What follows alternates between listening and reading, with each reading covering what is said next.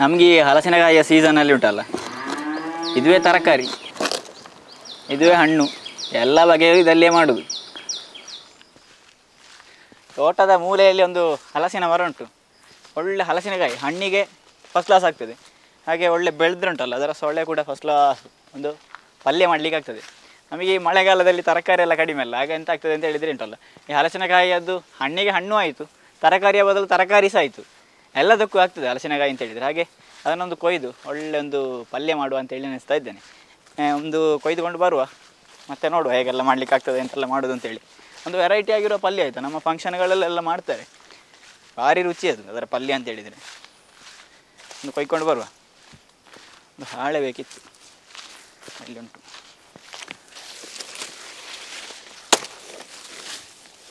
ಹಲಸಿನಕಾಯಿ ತರಲಿಕ್ಕೆ.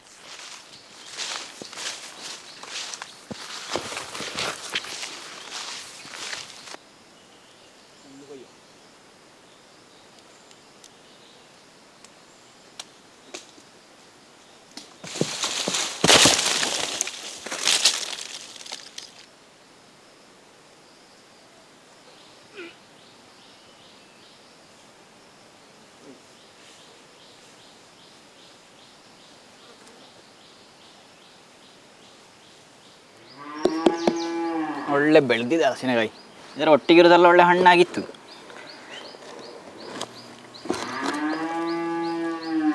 ದೊಡ್ಡ ಹಲಸಿನಕಾಯಿ ಆದ ಕಾರಣ ನಿಧಾನಕ್ಕೆ ಕೊರಿಬೇಕಷ್ಟೆ.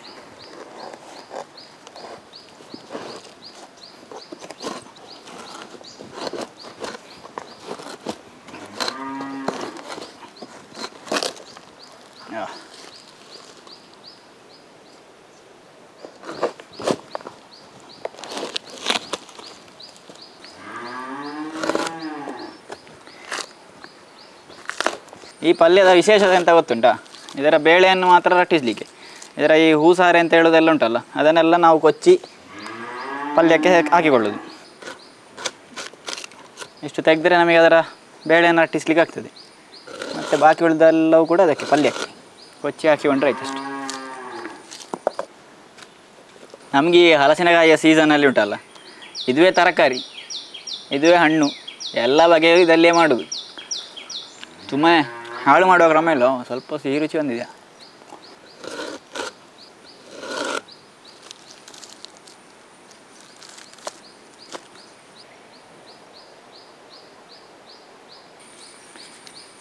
ಇದರ ಪ್ರತ್ಯೇಕತೆ ಎಂತ ಅಂತ ಹೇಳಿದ್ರೆ ಉಂಟಲ್ಲ, ಹಲಸಿನ ಬೇಳೆಯನ್ನು ಇಲ್ಲಿಂದಲೇ ರಟ್ಟಿಸೋದು ಹೀಗೆ, ಗುಂಜು ಸಮೇತ. ಈ ಪಂಚಸಾರೆ ಅಂತ ಹೇಳ್ತೇವಲ್ಲ, ಇದು ಸಹ ಇದಕ್ಕೆ ಬೀಳ್ಲಿಕ್ಕೆ ಉಂಟು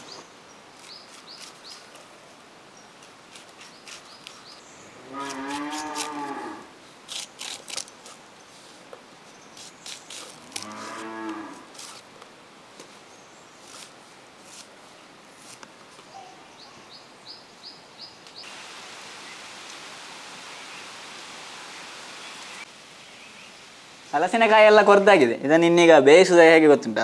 ಮೊದಲಿಗೆ ಉರುಳಿಗೆ ತೆಂಗಿನೆಣ್ಣೆ ಹಾಕಿಕೊಳ್ಳೋದು ಸ್ವಲ್ಪ ಜಾಸ್ತಿ ಬೇಕು ತೆಂಗಿನೆಣ್ಣೆ ಸರಿ ತೆಂಗಿನೆಣ್ಣೆ ಹಾಕಿಕೊಂಡು ಈ ಭಾಗ ಹಾಕೋದು. ನೋಡಿ, ದೊಡ್ಡ ದೊಡ್ಡಕ್ಕೆ ಕೊಚ್ಚಿಕೊಂಡದ್ದು ಇದು ಹೋಳು ಅರಸೆ ನೋಡಿ ಮೆಣಸೆ ನೋಡಿ ರುಚಿಗೆ ಬೇಕಾದಷ್ಟು ಉಪ್ಪು. ಒಮ್ಮೆ ಇದನ್ನು ಮಗುಚಿಕೊಳ್ಳುವ ಮೊದಲಿಗೆ ತೆಂಗಿನೆಣ್ಣೆ ಮೆಣಸು ಅರಸಿನಡಿ ಉಪ್ಪು ಹಾಕಿ ಸ್ವಲ್ಪ ಮಗುಚಿಕೊಳ್ಳೋದು. ಸ್ವಲ್ಪ ಬಿಸಿ ಆಗಬೇಕಿದೆ ಇಲ್ಲಿಗೆ. ಬಿಸಿ ಆಗುವಲ್ಲಿವರೆಗೆ ಮಗುಚಿ. ಮತ್ತೆ ಇದಕ್ಕೆ ಸ್ವಲ್ಪ ನೀರು ಹಾಕು. ಜಾಸ್ತಿ ನೀರು ಬೇಡ. ನೀರು ಕಡಿಮೆ ಹಾಕಿ. ಹೇಳಿದರೆ ಈಗ ಹೇಗಾದರೂ ಮಳೆಗಾಲ ಆಗಿರ್ತದೆ. ಹಲಸಿನಕಾಯಿ ಸ್ವಲ್ಪ ನೀರೆಲ್ಲ ಕುಡ್ದಿರ್ತದೆ. ಇದು ಕುಡ್ದಿದೆ. ಮತ್ತು ಸೊಳ್ಳೆ ಸಹ ದಪ್ಪಾಗಿರ್ತದೆ ಆಗ ನಮಗೆ ಜಾಸ್ತಿ ನೀರು ಹಾಕಿತ್ತು ಅಂತ ಹೇಳಿದರೆ ನೀರು ಆರಿ ಹೋಗಲಿಕ್ಕಿಲ್ಲ. ಸ್ವಲ್ಪ ಸಾಕು. ಅಂದ, ಅಂದಾಜು. ಜಾಸ್ತಿ ಬೇಡ. ಒಂದು, ಒಂದೂವರೆ, ಎರಡು ಗ್ಲಾಸಿನ ಒಳಗೆ ಹಾಂ, ಸಾಕು. ಇನ್ನೀಗ ಮಧ್ಯಮ ಬೆಂಕಿಯಲ್ಲಿ ಇಟ್ಟುಕೊಂಡು ಇದನ್ನು ಬೇಯಿಸೋದು ಬೇಗ ಬೇಯ್ತದೆ ಆಯಿತಾ ಇದು? ಮುಚ್ಚಿಟ್ಟು ಬೇಯಿಸುವ. ಮುಚ್ಚಿಡುದು ಅಂತ ಹೇಳಿದರೆ ಒಂದು ಬಾಳೆಲೆ ಮುಚ್ಚುವ. ಬಾಳೆಲೆ ಮುಚ್ಚಿಡುದು ಯಾಕೆ ಅಂತ ಹೇಳಿದರೆ ಇದರಲ್ಲಿ ಇನ್ನೀಗ ಬೇಯಿಸುವಾಗ ಹಬೆ ಬರ್ತದೆ. ಆ ಹಬೆ ಈ ಬಾಳೆಲೆಯಲ್ಲಿ ಬಿದ್ದು ಬಂದು ಆಮೇಲೆ ಸೆಕೆ ಬಂದು ಅಲ್ಲಿಗೆ ಬೇಯ್ತದೆ ಅದು. ಹಸಿ ದೊಡ್ಡ ಬೇಡ ಬಾಳೆಲೆ. ಹೀಗೆ.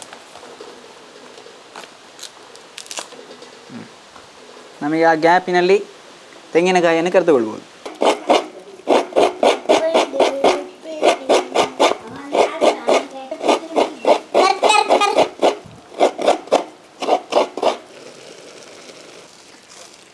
ಹಲಸಿನಕಾಯಿ ಒಳ್ಳೆ ಬೆಳೆದ ಕಾರಣ ಉಂಟಲ್ಲ ಬೇಯಲಿಕ್ಕೆ ಹೆಚ್ಚು ಹೊತ್ತು ಬೇಕಾಗೋದಿಲ್ಲ.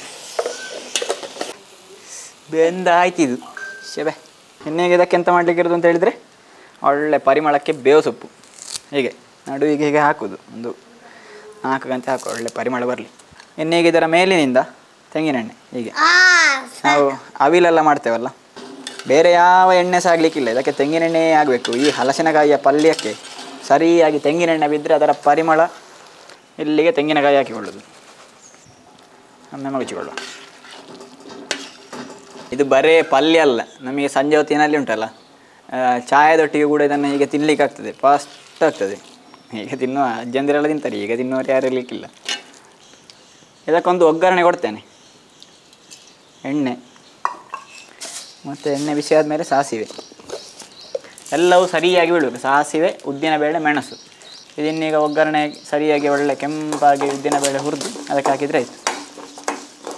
ಉದ್ದಿನಬೇಳೆ ಹೀಗೆ ಕೆಂಪಾಗಬೇಕು ನೋಡಿ. ಕೊನೆಯಲ್ಲಿ ಒಗ್ಗರಣೆ. ನೋಡಿ, ಹಾಗೆ ಚುಯ್ಯ ಅಂತ ಹೇಳಬೇಕು.